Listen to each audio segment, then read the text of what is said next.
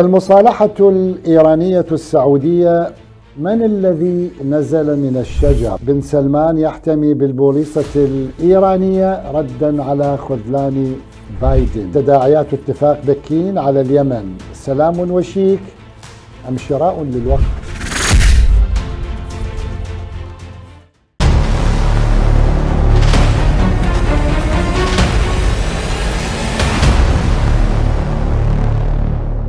بسم الله الرحمن الرحيم. المصالحة الإيرانية السعودية من الذي نزل من الشجرة؟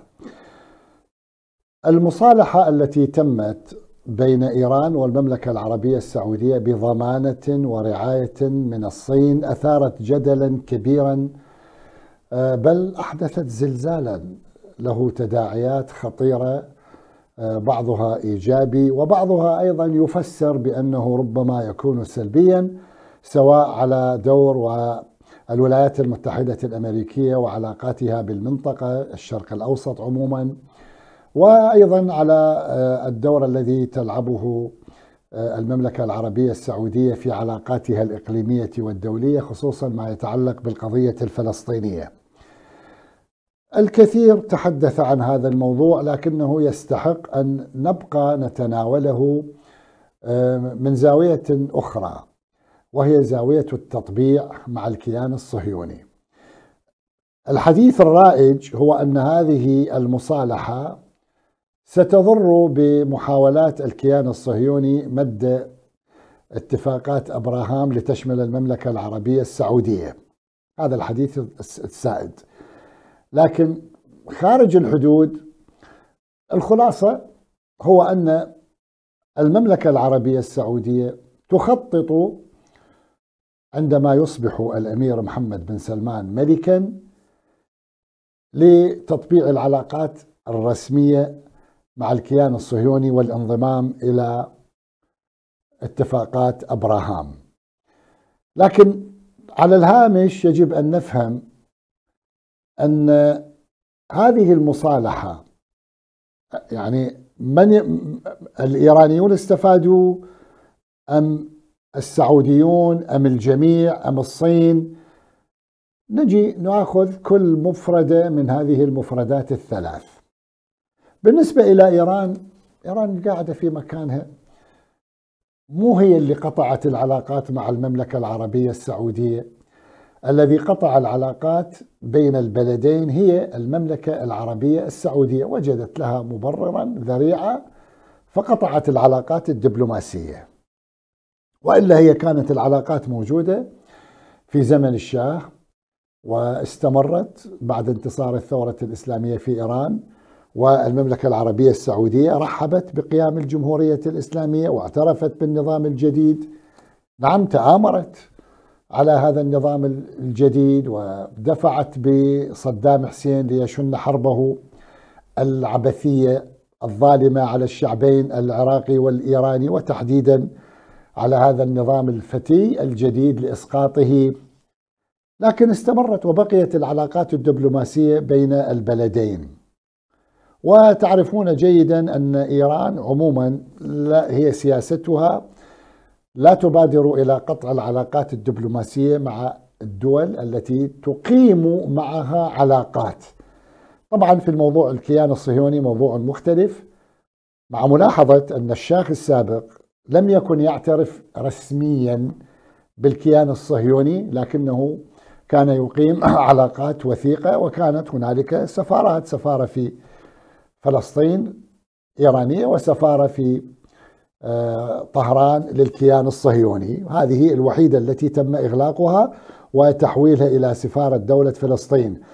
حتى عندما اقتحم الطلبة السائرون على نهج الإمام الخميني السفارة الأمريكية في 4 نوفمبر 1979 آه، بقيت العلاقات الدبلوماسية إلى أن قطعتها الولايات المتحدة الأمريكية نفسها في أبريل نيسان من 1980 الحرب التي شنها صدام أيضا طوال فترة الحرب لم تقطع العلاقات الدبلوماسية بالرغم من أن إيران هي التي تعرضت لهجوم. وهذا هو الشأن يعني شأن العلاقات الدبلوماسية بين إيران والدول الأخرى. فإذا السعودية هي التي قطعت العلاقات وهي التي الآن أعلنت عن رغبتها وعزمها على العودة إلى إيران وإرسال السفير إلى طهران. إذا انتصرت إيران. إيران انتصرت انتصر فيها منطق الحوار لأن إيران تدعو إلى الحوار لحل الخلافات. انتصر منطق الحوار بين الدول المعنية دون تدخل من دول أجنبية. ما قامت به الصين هو مجرد تطمين وإعطاء ضمانات لأسباب سأذكرها الآن. أما بالنسبة إلى المملكة العربية السعودية تورطت في أزمات كبيرة. واحدة منها هي هذه الأزمة قطع العلاقات الدبلوماسية مع إيران وإيجاد توتر. وهذا التوتر انسحب على ملفات أخرى في المنطقة وفي دول أخرى حتى في أفغانستان.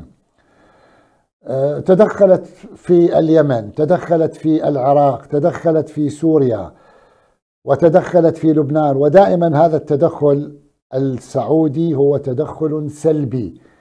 يعني إيران متهمة بأنها تتدخل في هذه الدول لكن من تجي تشوف التدوير الزوايا تلاحظ التدخل الإيراني إيجابي لصالح الحفاظ على هذه الدول والتدخل السعودي سلبي قتل ذبح في العراق إرسال مفخخات إرسال إرهابيين انتحاريين في سوريا دعم حركات ومنظمات تكفيرية وإرهابية لإسقاط الدولة السورية.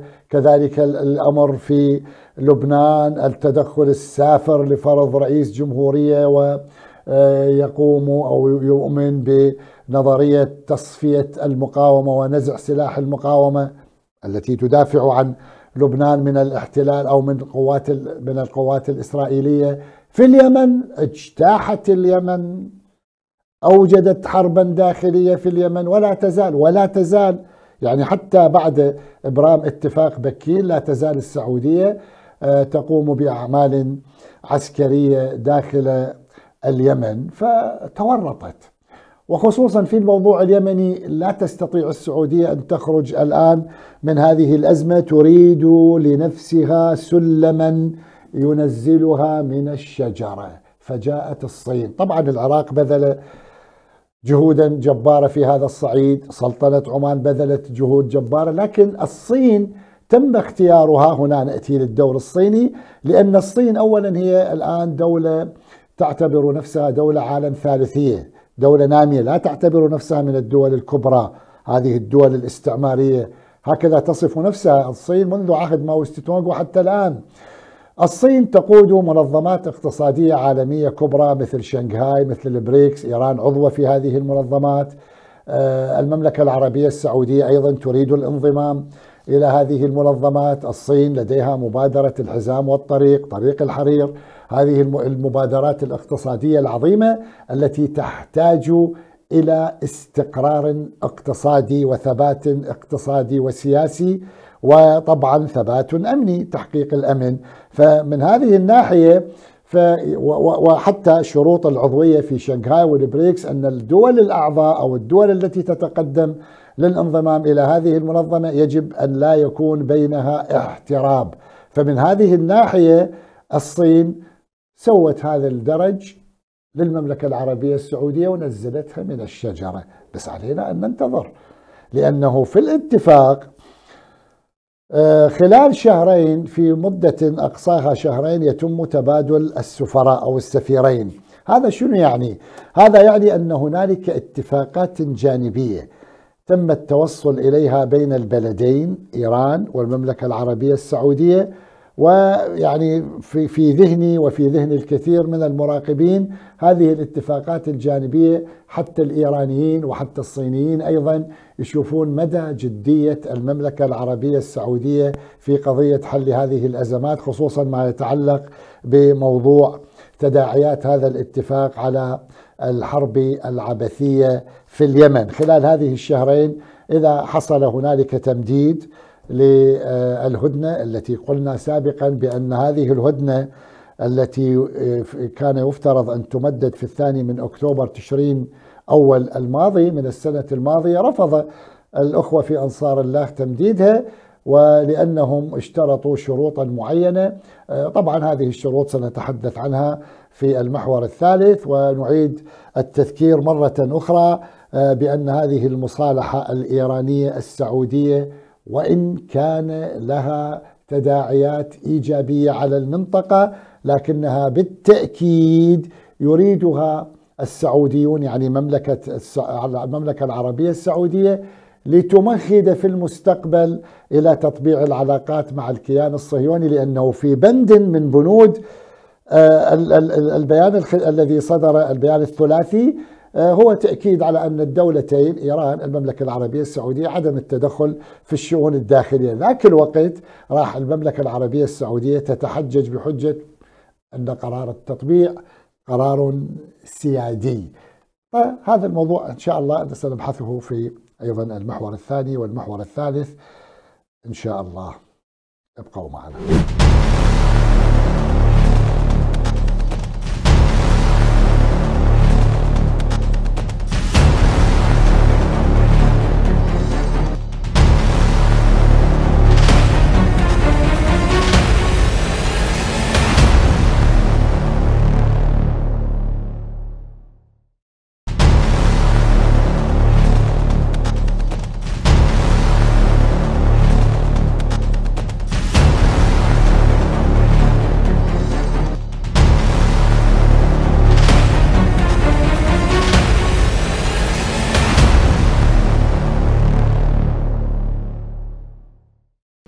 الصحافة العبرية تكتب بن سلمان يحتمي بالبوليس الإيرانية ردا على خذلان بايدن. هنا أيضا أنا أختلف باعتبارنا في برنامج خارج الحدود مو لازم نختلف لكن نحن نقرأ ما خلف السطور وما بين السطور ونشوف الصورة برمتها. نحن نعتقد أن هذا الاتفاق الذي حصل في بكين هو صحيح من وجهة نظر جيوسياسية يعتبر زلزال لأنه آه، يأتي بالصين لتكون وتقوم بدور فاعل في المنطقة تحديدا المياه الدافئة في منطقتنا. لكن كما قلت لكم الصين ليست لها ليست لديها نوايا استعمارية. لا تلعب دور القوة الكبرى المهيمنة. أما بالنسبة للولايات المتحدة الأمريكية فهي لديها نظرة الهيمنة والسيطرة والحفاظ على الكيان الصهيوني. هذه استراتيجية الولايات المتحدة ولهذا ترسل قوات ولهذا تتدخل ولهذا تقوم بما تقوم به في المنطقة. من هذا الواقع وفي هذا الواقع فإن هذا اتفاق بكين جرى بموافقة أمريكية. أمريكا انحسر دورها. نعم ضعفت. نعم أمريكا خذلت الدول التي تحتمي بها. نعم يعني هو الحديث في الصحافة الإسرائيلية أن بن سلمان يحتمي بالبوليصة الإيرانية ردا على خذلان بايدن. خذلان بايدن شلون تم؟ لأن بايدن وعد بأن تنتصر المملكة العربية السعودية في اليمن.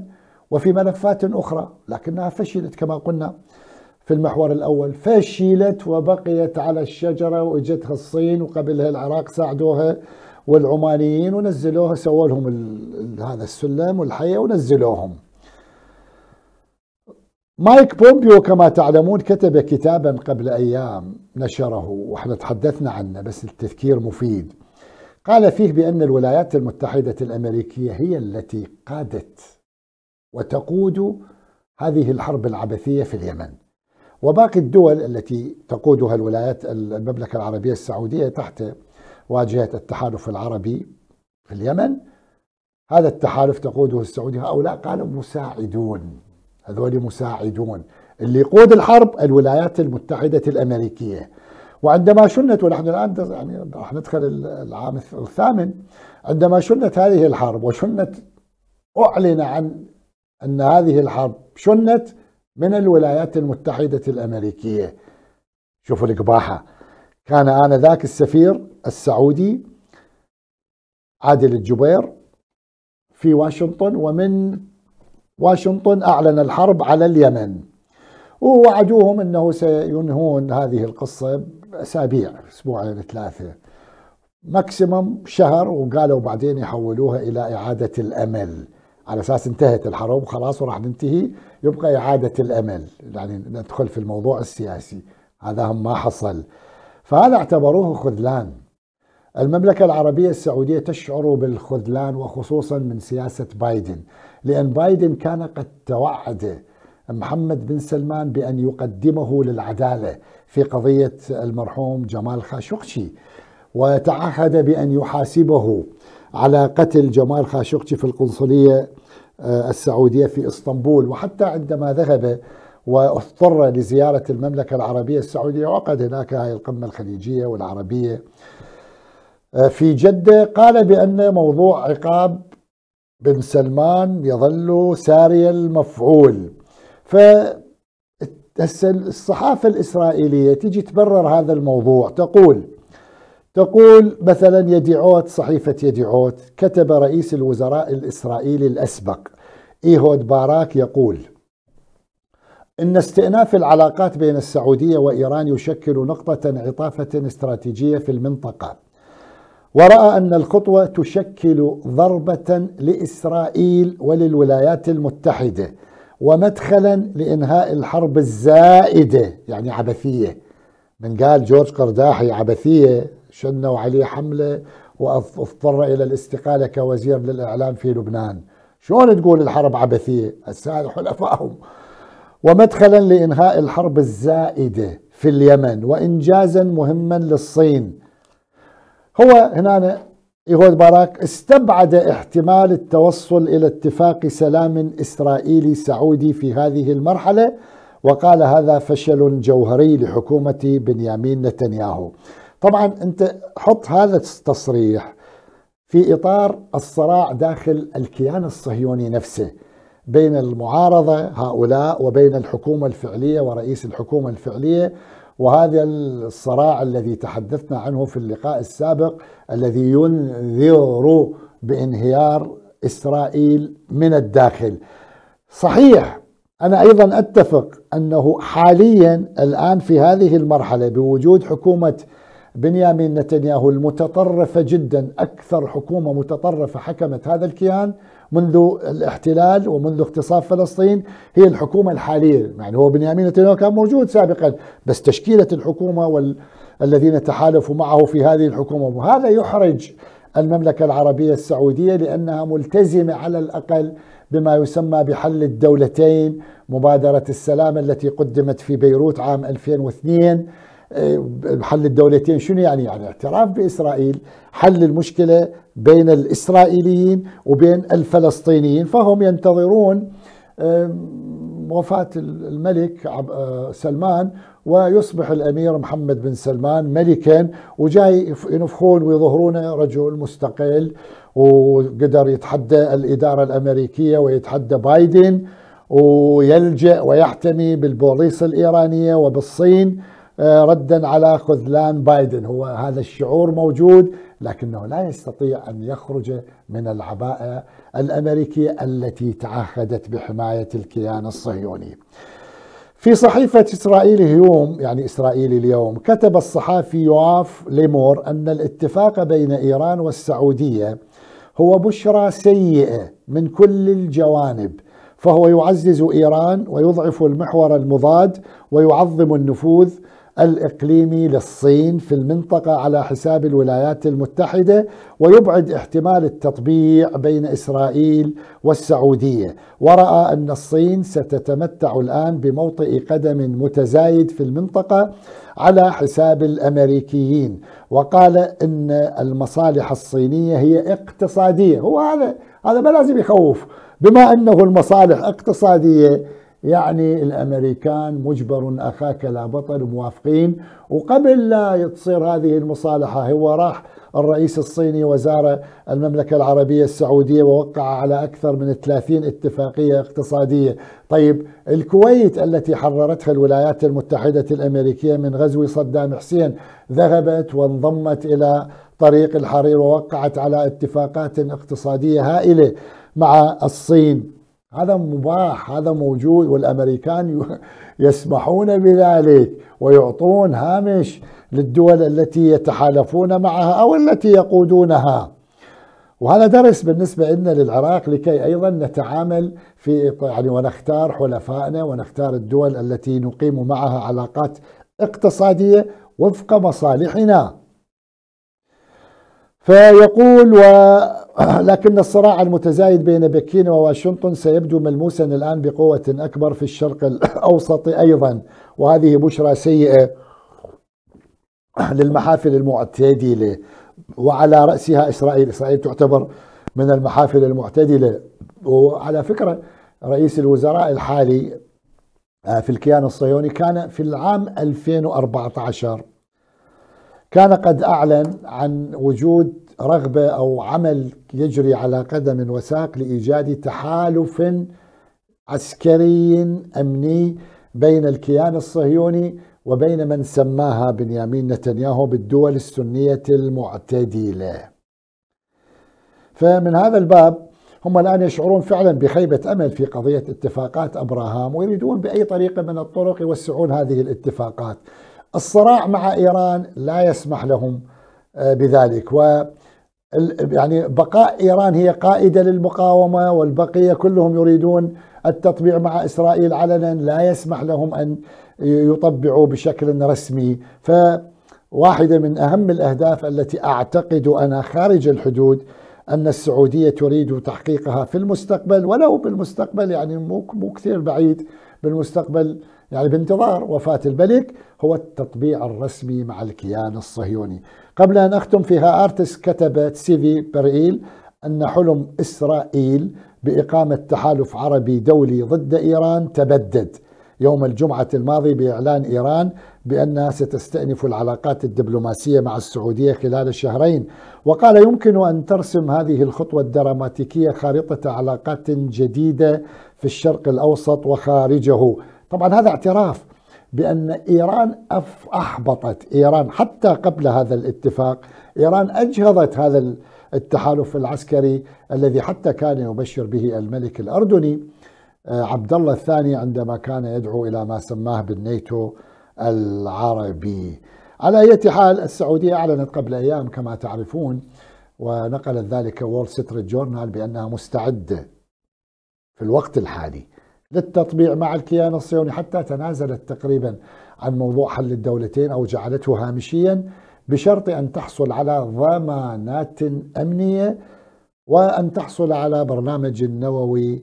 تقول إنه للأغراض السلمية بس لأنه شافوا الإيرانيين عندهم برنامج نووي فيريدون يسوون آه، برنامج نووي آخر وبالمقابل يطبعون مع إسرائيل. على حال أقول أحبائي أن هنالك آه، انتصارا هنالك انتصارا بالفعل للجمهورية الإسلامية والقوى التي تدعو إلى تحرير فلسطين مقابل انحسار آه، هذا المد التطبيعي الذي يراد له أن يحيا بهذه الواسطة بواسطة اتفاق بكين. ابقوا معنا.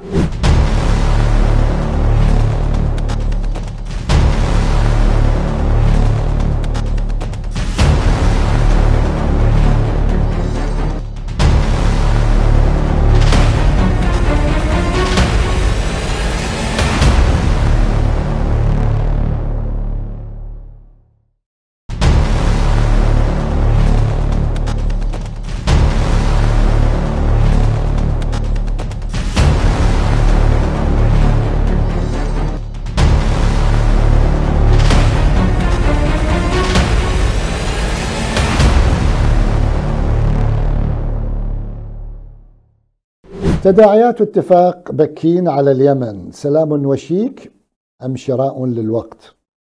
بشكل عام هنالك نفس إيجابي وهناك أجواء إيجابية على الرغم على الرغم أقول من أن المملكة العربية السعودية في نفس اليوم الذي أبرم فيه هذا الاتفاق في بكين شنت غارة على مناطق في داخل اليمن مناطق مدنية.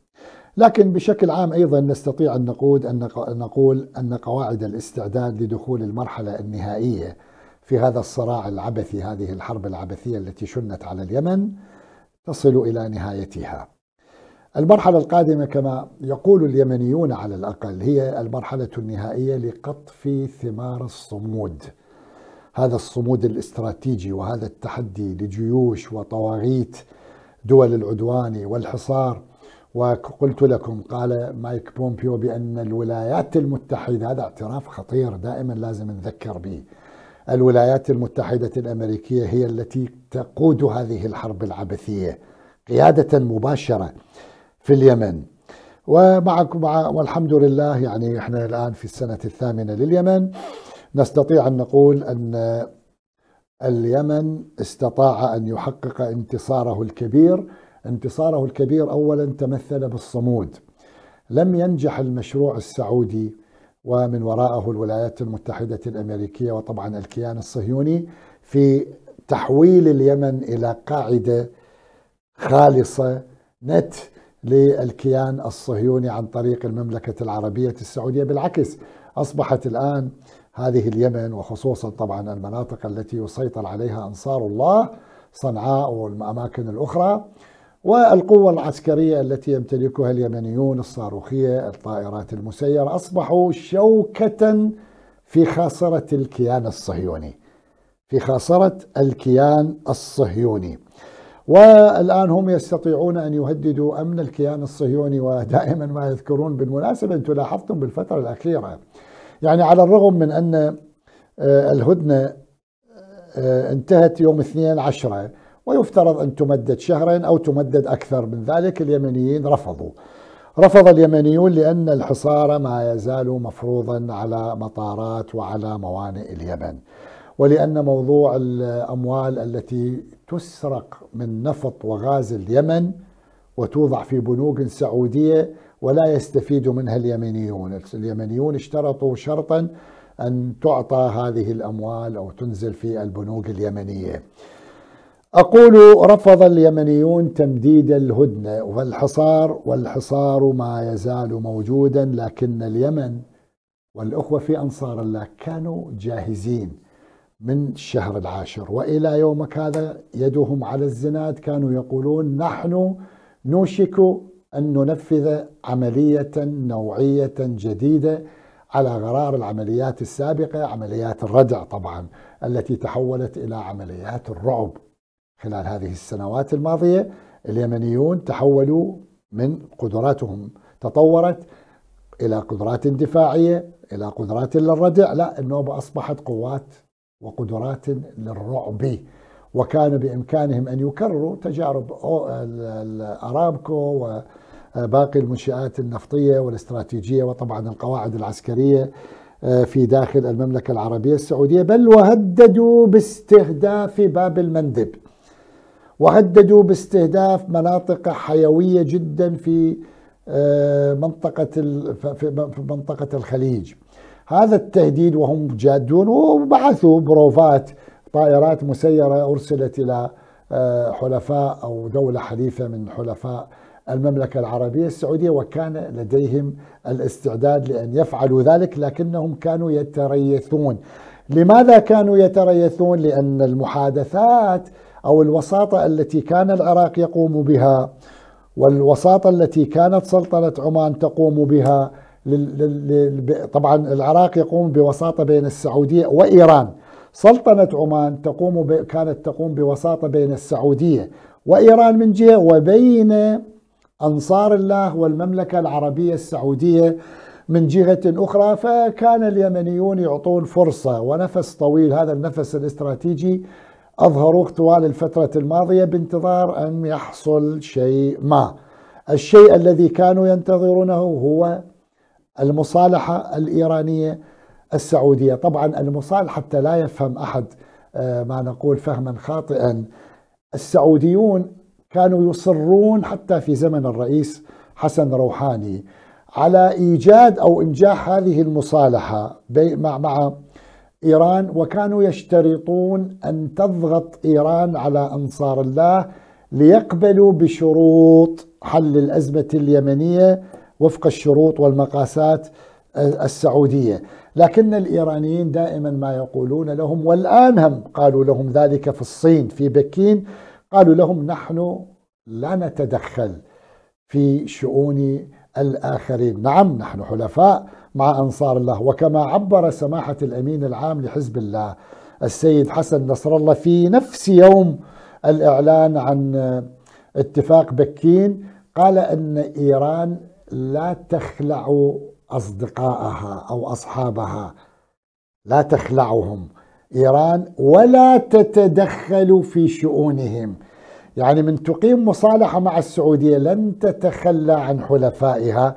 لكن في نفس الوقت لا تفرض على الحوثيين كيف يقيمون صلحهم كيف ينظرون إلى حل مشاكلهم الداخلية مع باقي الفرقاء المتورطين في هذه الحرب العبثية التي تقودها أو شنتها الولايات المتحدة الأمريكية عبر الأذرع. هسه صارت الأذرع السعودية وحلفائها. مو بس ذولاك ولكن أذرع لأذرع المرتزقة اللي يسموهم الأخوة اليمنيين. فمنها في هذا الواقع نعم الآن يفترض خلال هذين الشهرين حتى يعني موعد آه، فتح السفارتين. طبعا موضوع السفارات ممكن واحد يقول هان والله ممكن يعني إعادة ترميم للسفارة متروكة سبع سنوات آه، من 2016 وحتى اليوم. لا لا بإمكانه هذا هذا متعارف موجود في كل الدول. بإمكانهم الطرفين يروحون يقعدون بفندق مو في المشكلة. يعني يبعثون سفير ويبعثون آه، بعثة دبلوماسية تقعد في فندق مؤقتا لحين أن يتم وأنا أعتقد كل شيء جاهز بالمناسبة يعني ما يحتاج شيء آه، لا في السفارة الإيرانية في الرياض ولا السفارة السعودية في جدة أو في عفوا في طهران.